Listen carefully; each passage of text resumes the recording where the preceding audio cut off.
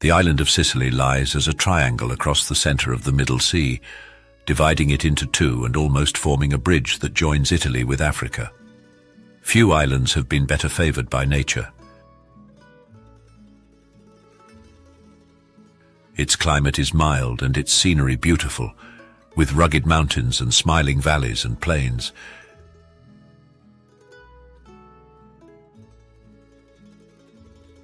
Even the frequency of earthquakes and the ever-present menace of Mount Etna, though they have borne constant witness to the caprice of natural forces, have, in compensation, added to the richness of the soil. Man has been less kindly to the island.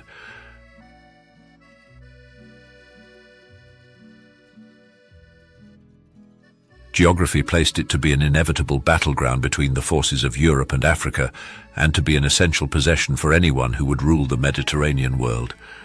Its story is one of invasions, wars and tumults.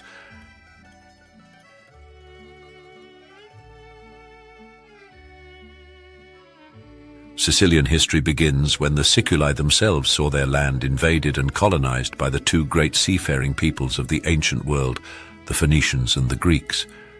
The Greeks came in about 700 BC, founding their cities around the coasts of the eastern half of the island. The Phoenicians had come already, sailing in from the colonies that they had established in Africa and occupying the western half. There were wars between the two peoples in which the Greeks held the mastery, though the Phoenicians, with the great African empire of Carthage to back them, remained a danger.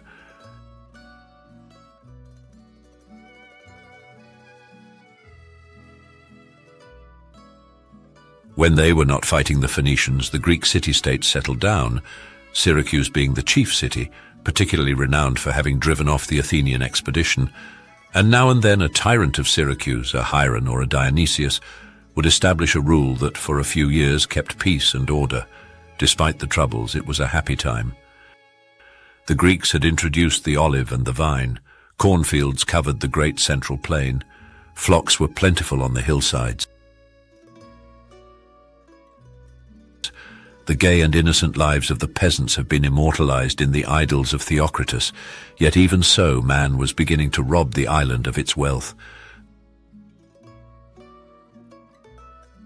The cities, both Greek and Phoenician, had their ships for war and for merchandise, and the forest trees began to fall under the axes of the shipbuilders. Erosion and desiccation were started,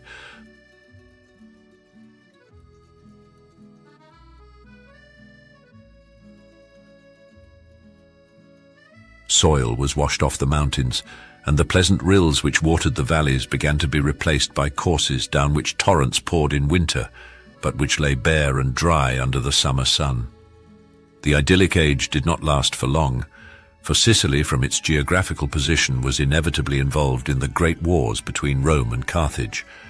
By 200 BC, the whole island was under the domination of Rome,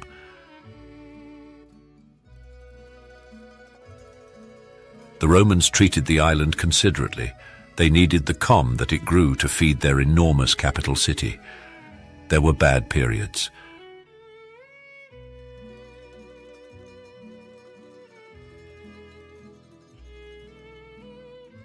The islanders suffered under the exactions of Governor Verres, against whom Cicero thundered, and they were involved in the wars of Sextus Pompey against the central government but the writers of Rome have little to say about Sicily. We must assume that their silence is testimony to a quiet prosperity.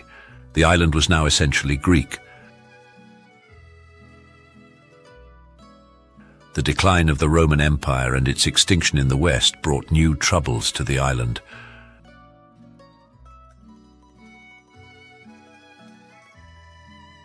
A storm in the Straits of Messina saved it from invasion by Alaric and the Visigoths, but soon afterwards it was raided and for a time occupied by the Vandals, operating from Carthage. When Emperor Justinian sent an army from Constantinople to restore Sicily to the empire before proceeding to the conquest of Italy from the Ostrogoths, his troops were everywhere welcomed. There followed a brief period of quiet, during which, however, it seems that the Anopheles mosquito made its appearance in the island, with the curse of malaria, the population began to dwindle. In the middle of the 7th century, trouble started again.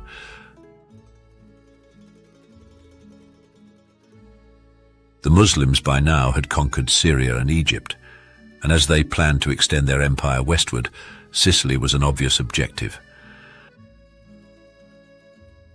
Their first raid of the island took place in 652, but it was not until they conquered the African shores opposite in the early years of the 8th century that the pressure became acute. Emperor Constans, despairing of holding the East against Islam, planned to move his capital back from Constantinople to Old Rome. When that proved to be impracticable, he settled at Syracuse.